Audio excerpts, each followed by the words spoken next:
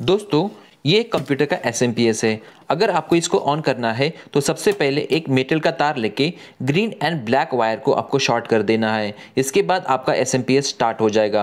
अब आप इसको as a stable power source करके कोई भी इलेक्ट्रॉनिक्स प्रोजेक्ट में यूज़ कर सकते हो। जब आप ऑरेंज वायर से पावर सप्लाई लोगे तो आपको मिलेगा 3.3 वोल्ट जब आप रेड वायर से पावर सप्लाई लोगे तो आपको मिलेगा 5 वोल्ट और आप येलो वायर से पावर सप्लाई लोगे तो आपको मिलेगा 12 वोल्ट